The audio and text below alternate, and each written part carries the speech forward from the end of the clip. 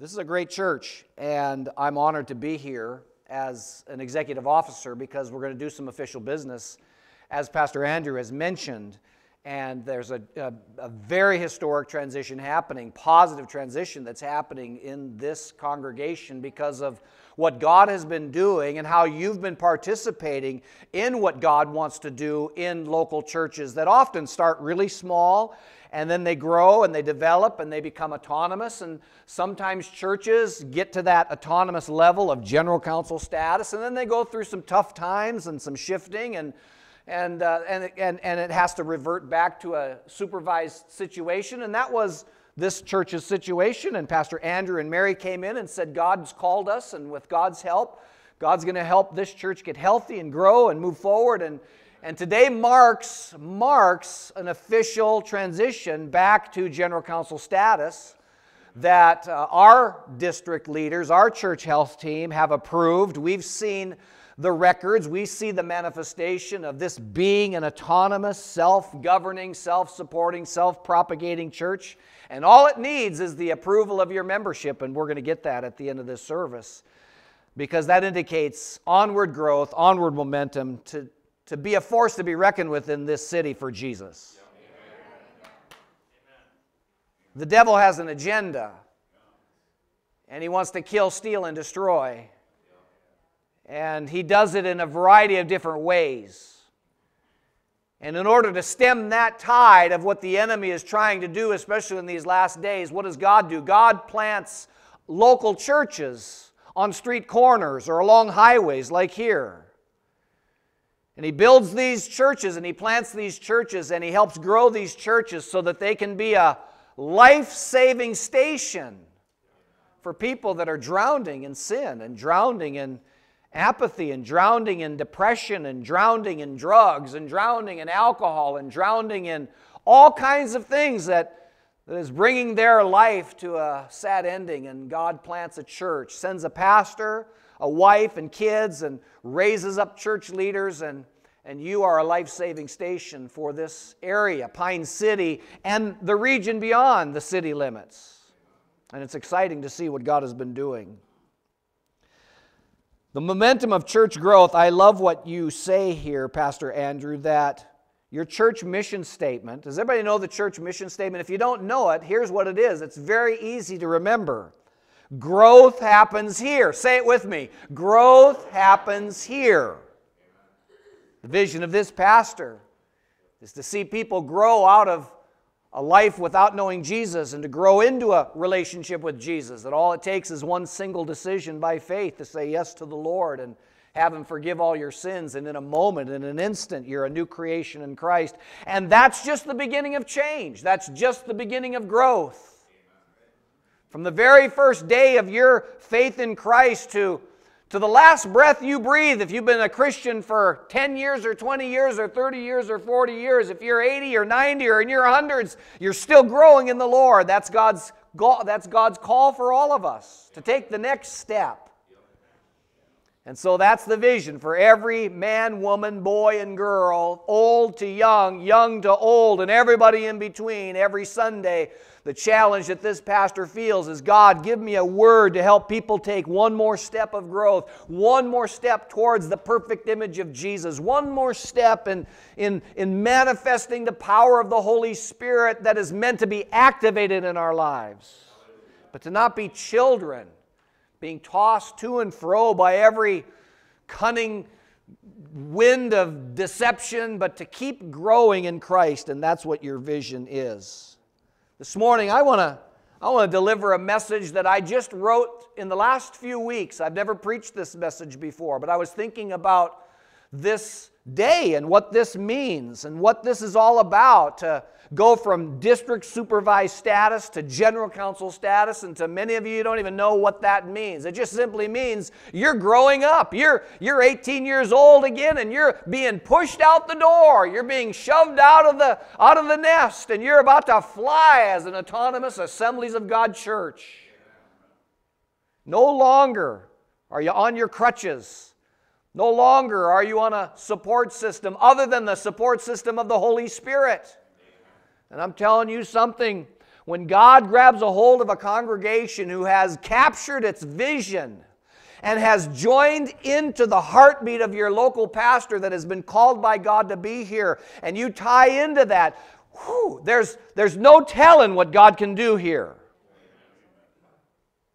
There's no telling what God can do. The church is God's plan A to bring redemption to this planet. How do I know that? Number one, going to give you four points. Number one, the church is born. The church 2,000 years ago was born. And that means a couple of things that the church, like babies, have birthdays, have days in which they were actually born. Now, I'm going to tell you something that's going to blow your mind. Because as you look at me, you don't even know that I'm 59 years old. I put this special cream on my face and I look so young. You can't be nearly 60 years old, Pastor Doug. Well, I am. And I'm going to now blow your mind. My wife and I have been married 38 years this summer. We have four children, three boys who are all married, and they've produced, our sons and their daughter, our daughters-in-law, they've produced nine grandchildren for us. And I know you're saying you're too young to have nine grandchildren. Vicki and I started early. We got married, I was 20, she was 19 came to North Central Bible College, and I got a job as a youth pastor for Pastor Hale, sitting right here. He was my first boss in the ministry. And what a wonderful training I had for two years serving at Anoka Assembly of God. It was fantastic. I might even break out a hymnal, Pastor Larry, and start leading a song service as you taught me how to do that. But I got nine grandchildren, and guess what? After church today, I wish I could stay for lunch, but I can't stay for lunch because I got two grandsons, twin boys, that are having a birthday party this afternoon, two years old. Two years old. Birthdays. You know, we celebrate our, our children's birthdays and our birthdays, significant days. The church has a birthday. It was born 2,000 or so years ago. And it says in Acts chapter 2, verse 1 when the day of Pentecost came, they were all together in one place. Suddenly, like the sound of the blowing of a violent wind came from heaven and filled the whole house where they were sitting. They saw what seemed to be tongues of fire that separated, came to rest upon them, and they were all filled with the Holy Spirit. Or we might say they were baptized in the Holy Spirit for the very first time, and they began to speak in other tongues as the Spirit enabled them, and the church was born. It was birthed. Jesus had come and he had lived a perfect life. He had died a criminal's death. He was crucified, dead, and buried. He was raised from the dead, and then he ascended into heaven several days later. And he basically said to the believers, He said, I'm out of here. I'm gone. I'm going back to the Father. And they all said, Well, who's going to stay for us? If you're leaving, how are we going to make it? And Jesus had been telling them, I'm going to, the Father is going to send a gift. In fact, when I leave, don't spread out, don't quit, don't go back to fishing, Peter. But go back to Jerusalem and wait. And wait. Because something's going to happen. There's going to be a birth. Something has been conceived in the heart of God from the beginning of time, and, it, and that baby is going to be delivered. The church is going to be born, but I need you to be in that upper room, and I need you just to be patient. Can you imagine? You know how long they were waiting? The Bible tells us they were sitting there for 10 days. Could you sit in a prayer meeting for 10 days? Pastor Andrew calls a special prayer meeting, and we say, Well, Pastor Andrew, how long is that prayer meeting going to be? He's going to, and he doesn't tell you up front. He just, I don't know. He doesn't even know. We're just going to sit and we're going to wait. And after an hour, you might be ready to leave. After Two hours, you may be ready to leave. It's midnight, you may be ready to leave. And Jesus said, I want you to, I want you to wait for the gift my Father has promised. And those 120 people were faithful to just wait for 10 days. And then it happened. The baby was born. The Holy Spirit descended, and they were all filled. And they were all baptized in the Holy Spirit. And they, they began to speak in other tongues as the Spirit enabled them. That was the birth of the church. Now, the other reason that that's, it's important for us to understand that the church was born is that the Bible describes the local church in these terms that the local church is the body of Christ. It's the body of Christ. When babies are born, we see the body. The body is right there. And when the church was born, a, a, a, gathering of people were filled, and that was the beginning of the very first church. And then it began to multiply and grow with more babies being born into the kingdom of God and filled with the Holy Spirit. And, and through a set of circumstances, the church dispersed out of Jerusalem because of persecution, only to plant more churches in all of the areas of the known region at that time. And thank God, church planting came all the way to the United States of America and came to Minnesota. And I don't know the date when this church was planted, when this church became an Assemblies of God church. But in the, in the, in the winds of spiritual Holy Ghost revival, many, many of our Assembly of God churches were birthed in these last hundred years, and you're still existing.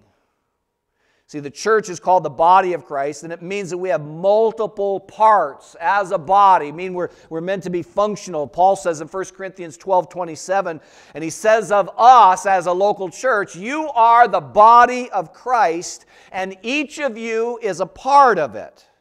Now, when we say that the local church is the body of Christ, the of Christ is very important. The body of Christ, it belongs to God. The church doesn't belong to you. It doesn't belong to Pastor Andrew. It doesn't belong to the district. It ultimately belongs to God Himself. Jesus is the head, and every appendage, every bodily organ, the skin, the skeleton, functions on the impulses that come from heaven, from Jesus, who's the brain. And every body part, just like your body, your arm, your legs, your body functions on impulses that come from your brain, and we function as a church to the best of our ability, that we function in the local church to the best of our ability to function in terms of what God is telling us to do. And this is how the local church operates by the impulses of the Holy Spirit who bring to us an, the awareness of what God's will is. Listen, folks, the church is not a spiritual version of Rotary Club. The local church is not a spiritual version of the Lions Club. The church is not a spiritual version of the Boys and Girls Club. Those are great organizations. But those are man's organizations. The local church is God's organization. He, he conceived it, He birthed it, He brings it about, and He guides it through His will, through the Holy Spirit, through the leading of the Lord, through pastors and deacons and church members. So, in this sense, the local church is a house in which believers do life. We do the Christian life together. Let's go to the second thing that makes the church so important, and that is the church is unified. It's unified. There's nothing more powerful than a power source that's unified. I mean, think of it light, simple light from a light bulb or a flashlight that's displaced, kind of spreads out. That's a, that's a wonderful thing. How many of you got one of these gizmos right here? You got one of these gizmos? I think the thing, I, I get on the internet with this, I send text, emails, I write notes, I do all kinds of things. You want to know what I use this mostly for? Well, I use it for this flashlight that isn't working.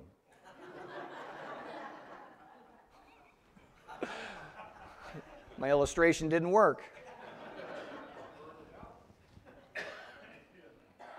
Light displaced is nice brings comfort, brings direction, brings illumination. That's nice. But do you know what you can do with light that is focused? See, light that is focused, intensely focused, is what we call a laser. And it can cut through steel. And that's an illustration of the power of the Holy Spirit that flows through a unified body of believers unified? Can we agree together? Can we, like from this day, March 26, 2023, the day that we are celebrating the birth of the church 2,000 years ago, but also kind of the rebirth of an autonomous general council church, can we agree as members and attenders that we are going to be focused on being unified under Jesus Christ? That we're not going to get distracted with the drama and the argumentation of men's and women's opinions on things that maybe are good, but they're not ultimate.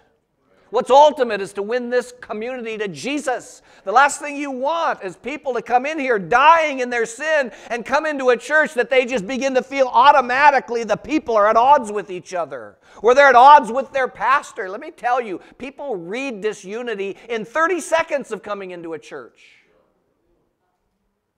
And in those same 30 seconds, they can, eh, they, can, they can know that they've come into a place where there's unity, there's love.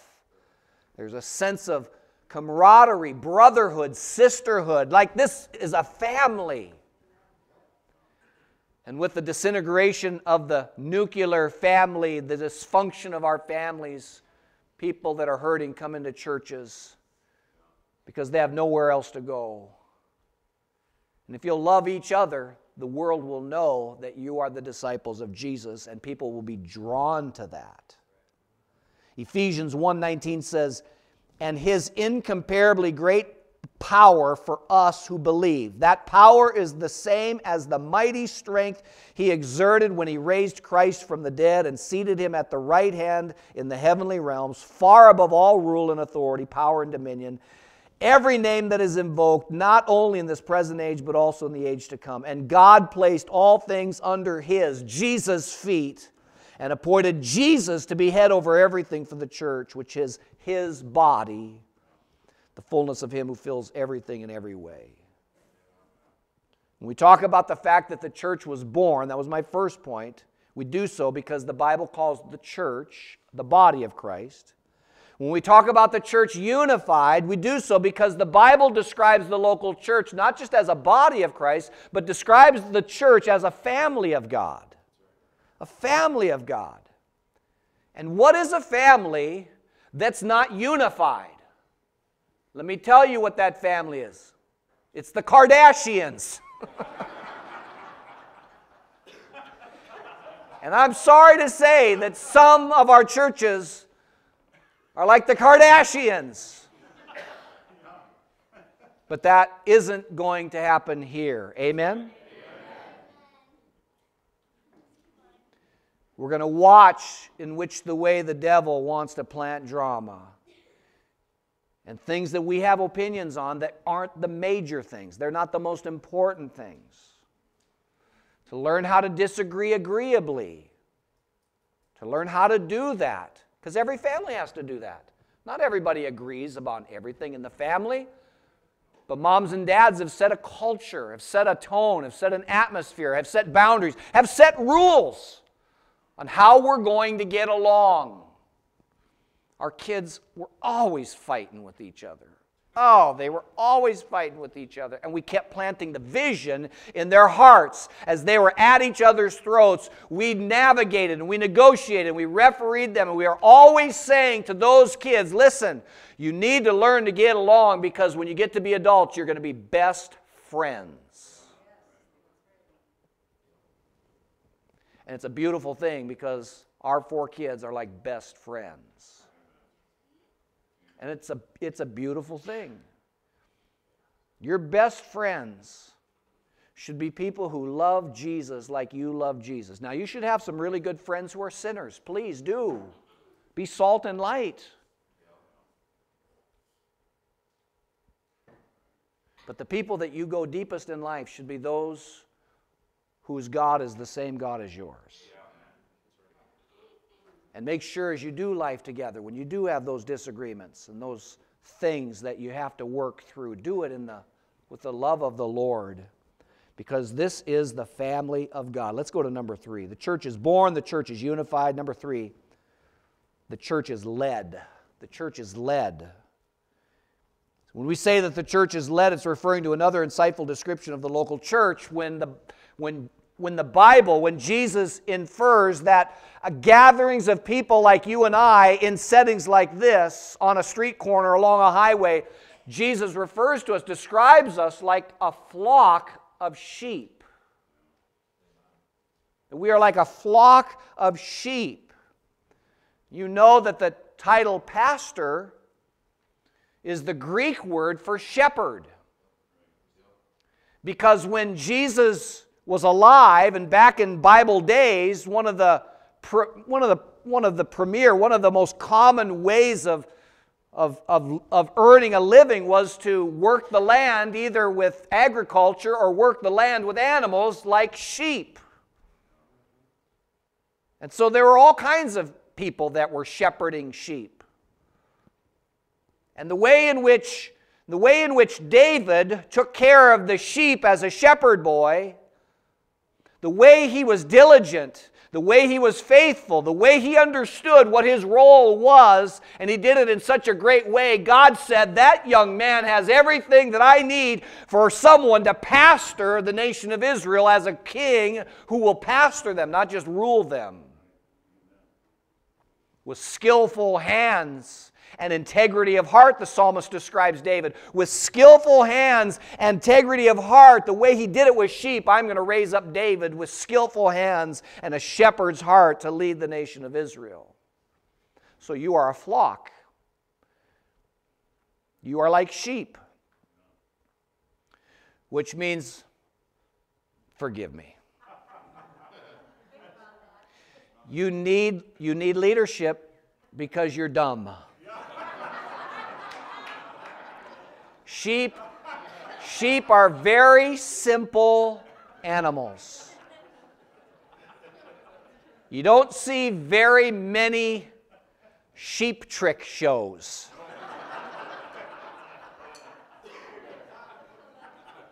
Because they're dumb. And I don't mean to insult you. But God said we are sheep. We are like sheep, and we need a shepherd. And our great shepherd is Jesus. But, but Jesus has appointed an under shepherd who works for him. And his name is Pastor Andrew Shaw. He's your shepherd. Yeah, hallelujah. Way to be affirmed. And just so you know, your pastor, who is your shepherd, also has a shepherd. Yes, it's Jesus, but he has, he has human shepherds who keep watch over him. And I'm one of those shepherds as an executive officer. And our superintendent, Mark Dean. And our secretary treasurer, Jim Philbeck. We are the shepherds of, our, of the pastors of this district, keeping them accountable, leading them, loving them, correcting them, doing all the things that a good shepherd does to keep his sheep healthy and alive. See, sheep are known as grazers, and they notoriously neglect where they're going. They never lift up their head. And when they, because they don't lift up their head, they drift. And that's human nature. You, you as a human being, even though you love the Lord and you're growing in the Lord, you still have a tendency to drift. And the church is here, and the ministries of the church are here, and the messages of your pastor are here to get you to look up because you're drifting in your attitude or choice of behavior or this or that. And this church is not going to get legalistic in any way, shape, or form, but it's going to preach the Bible, which sometimes has to bring a warning to us to keep us from drifting so far from the flock that we become an easy target for an animal of prey. And that's exactly what the devil's looking for. Sheep that are drifting, not really being in church that often. Do you know that the average amount of time that people are attending church these days is like one time a month. Now, I know that we have activities and things are happening on Sundays where they didn't used to happen on Sundays, and I get that. But if we use that as an excuse to be here once in a while, we are drifting. We are drifting, and our attitude shows it, and our carnality emerges, and our temptations get the best of us. And we need this every week experience. And if you absolutely can't get here, the cameras are on. I'm just looking at the camera. People that aren't here can be watching online, you can stream it. But that's not a substitute for being here live. Because I'm telling you what, this worship team, oh man, I'm a good old Montana boy, raised in Montana. That was Montana bluegrass up here. That was, that just brought me back. But it was the presence of God anointing those musicians and singers, and you can't replicate that when you're just at home. Use the live stream when you're sick and you're traveling, but be here. Be here so that I think someone said, can iron can sharpen iron. You can be sharpened by being with your friends and fellow believers and being with your pastor, and you won't drift. Sheep are also notorious for destroying grassy meadows, not only eating the grass, but just digging all the way to the root system and just destroying a field. And so shepherds have to rotate the flocks to different meadows. And that's what God's going to do, as He's been doing through Pastor Andrew and Mary. They're leading you, not, you know, not literally, but they're leading you from, from place to place in terms of vision, in terms of programs, in terms of uh, uh, things that need to be accomplished to reach this community. it's a powerful, powerful thing to be led. Probably the most well known fact about sheep is that they are completely useless in defending themselves. God created these innocent little animals called sheep. And virtually every animal that God created, He gave them either a hard shell or sharp teeth or fangs or, or sharp, you know, some mechanism to protect themselves. But sheep have nothing. They got nothing. In fact, they are so defenseless. Have you ever seen a sheep fall asleep? And go upside down on its back. They, they fill their belly, they fill their belly, they fill their belly, and then the, in their belly, the, the food they're eating starts to digest and starts to ferment and it starts to bloat their little belly, and they fall over and they roll on their back and they can't get back on their feet, and they'll die if they don't have a shepherd who comes to turn them over. And if they're not turned over, they die, they, they, they, they, they suffocate. Or that animal of prey just says, Ooh, easy dinner right there. What's my point? You need to be led by the Holy Spirit, by the Word of God, by a pastor who's committed to the Holy Spirit, committed to the Word of God. David wrote, The Lord is my shepherd. I got almost everything I need. wrong answer. The Lord is my shepherd. I have everything I need. I lack, I, I, I, I, I want nothing. That's what happens when you let the Holy Spirit lead you, when you let Jesus be the great shepherd, when you stay close to the local shepherds God, give, God has given you. You're reminded, you're reminded Sunday after Sunday after Sunday, even when the offering plate, offering opportunity is given. You know you got bills that are unpaid. You know you got some things that you're afraid of. You got to fix and you don't have, can't afford this or that. And yet you know God will take care of you. And you remember, you remember, you remember. Your pastor reminds you that 90% of your income will go further than 100% of your income because you, you know that when I return the tithes to the Lord, God blesses the rest and it just makes it go further. But if I hold on to every part of it and I don't return to God what's His, it's like it, it, I, got, I got pockets with holes in them. The Lord is my shepherd. I've got everything that I need. Let's go to the last point, and that is this the church is born, the church is unified, the church is led, and finally, and really most excitingly, the church is fueled. The local church cannot function to its fullest potential merely on the strength, wisdom, finances that human beings bring to the table. Now, we need to bring all of that to the table and say, Lord, it's all yours. Use my brain, use my talents, use my skill, use my wallet, use all the stuff I've got in my garage.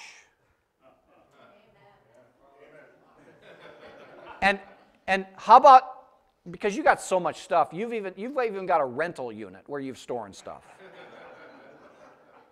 How about we let God have access to that stuff too? How about letting God have access to your kids? churches like this, who have a heart for souls locally and who have a heart for the souls of people around the world, that have a heart for missions, are going to see the children in that church called to be pastors, youth pastors, children's pastors. You're going to have children called to be missionaries. And the last thing that should happen is mom and dad not letting their kids go into the ministry or go to the mission field. They're not yours. They came through you, but they're God's. You dedicate your children when they're babies. And you're saying, God, they're not our kids. Thank you for letting us, thank you for loaning us these beautiful kids for 18 years, but, but they're yours. They're yours. See, we can't do it in our own human wisdom. We need something supernatural. So here it is Acts 1 8. You will receive power when the Holy Spirit comes upon you to be my witnesses in Jerusalem and in all Judea and Samaria and to the ends of the earth. You will receive power. The Greek word for power is dunamis. And don't think dynamite, because that's not the description of Holy Spirit power. Dynamite is powerful, but it's destructive. And some people come into local churches like this, and they're more destructive with the power of their gifts. And they bulldoze their way, and that's an inappropriate inter- interpretation of dunamis power. Besides, dynamite hadn't been invented when the writer used the word. So to say that the word means dynamite is a total misinterpretation. Dunamis simply means supernatural power. Think more like dynamic. The dynamic power of God is supernatural.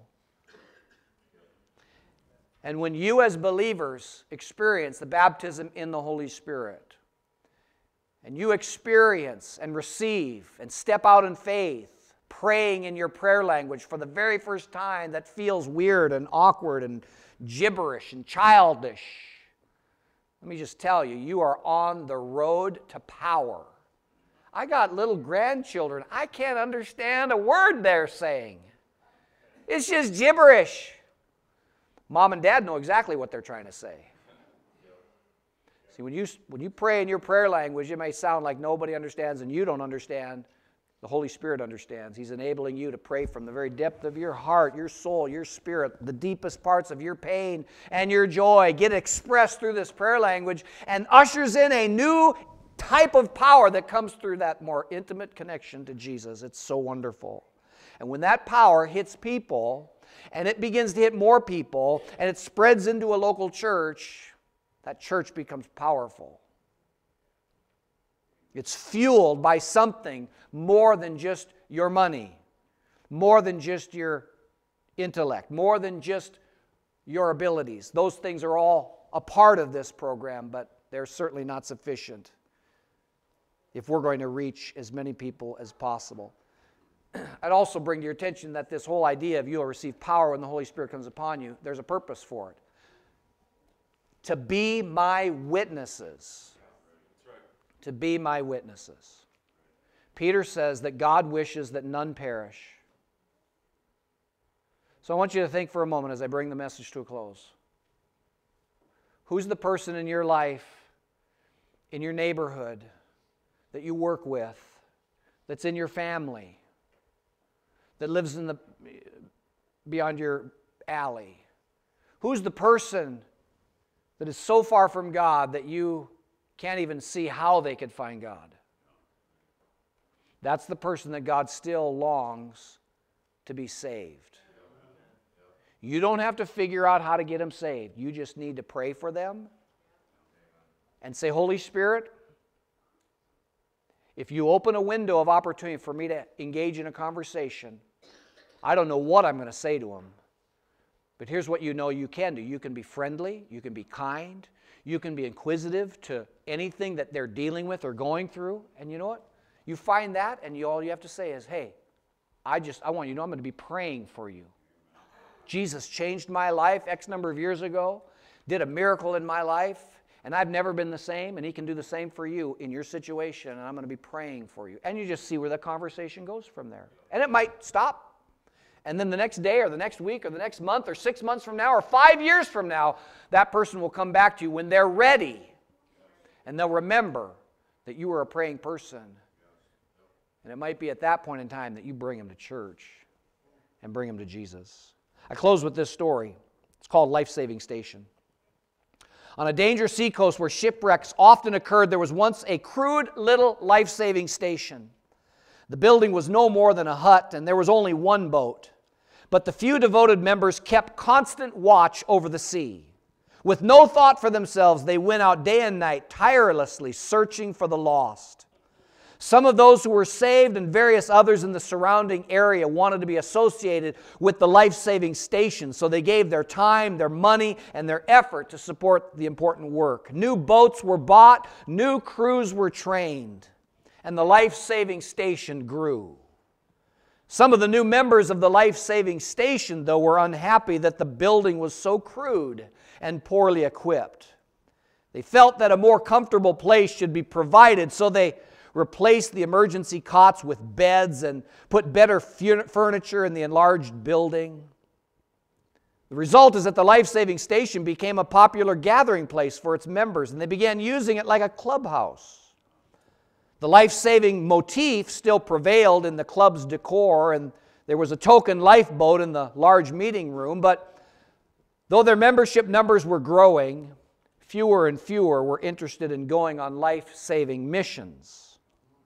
About this time, a large ship was wrecked off the coast, and they hired crews to get the people that were drowning, and they brought them in. They were cold, they were wet, they were half drowned, they were disheveled, they were dirty, they were sick. Some of them were foreigners. The beautiful new club was in chaos. Immediately, the property committee hired someone to build a shower house outside the clubhouse so the victims of shipwrecks could be cleaned up before coming inside. At the next meeting, there was a split in the club membership. Most of the members wanted to stop the club's life saving activities because they said it was unpleasant and it hindered the normal social life of the club. A small number of members insisted that life saving was their purpose. And they pointed out that they were still called a life saving station. But the small minority were voted down and told that if they wanted to save lives, they could begin their own life saving station down the coast. And they did. But as the years went by, the new life saving station experienced the same changes. It too evolved into a club. History continued to repeat itself, and if you visit that seacoast today, you'll find a number of exclusive clubs along the shore, but not a single life saving station. Shipwreck, shipwrecks are frequent in those waters, but most of the victims drowned. I want you to bow your head as I pray and then I'll have Pastor Andrew close the service. I know that you folks here at Living Hope Christian Center do not want your church to just be a social club. I know that.